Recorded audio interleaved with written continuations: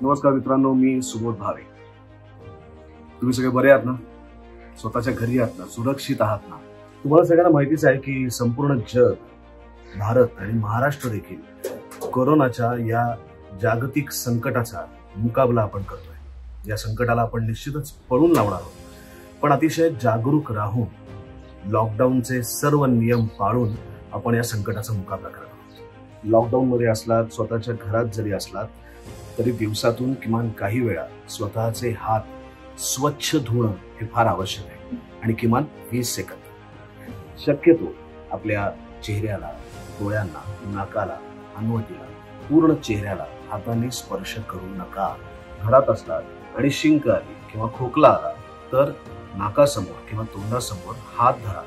अंगात कणकण असेल फ्लू सारखं वाटत असेल तर ताबडतोब जवळच्या हॉस्पिटलमध्ये जा किंवा डॉक्टरांना फोन करून स्वतःची तपासणी करून घ्या.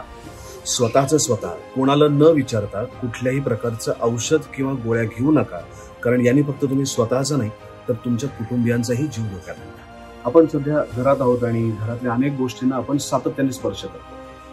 दाराचे हँडल्स असतील दरवाजा उघडताना बंद करताना खिडक्या उघडताना बंद करताना फ्रीज उघडताना बंद करताना कम्प्युटर्स असतील कीबोर्ड्स असतील अल्कोहोल बेस्ड सॅनिटायझरचा वापर करून स्वच्छ करत राहा. घरामध्ये किराणा सामान मागवायचं असेल औषधं मागवायची असेल जीवनावश्यक वस्तू मागवायच्या असतील तर होम डिलिव्हरीचा वापर करा.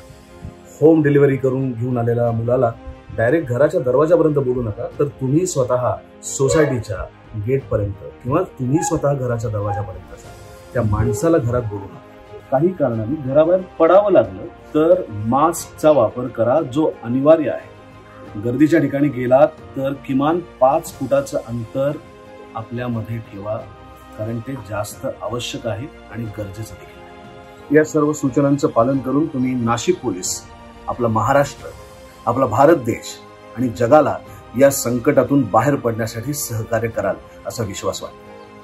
पुन्हा भेटूया लवकरच. पण तोपर्यंत घरात राहा स्वच्छ राहा स्वस्थ राहा सुरक्षित राहा.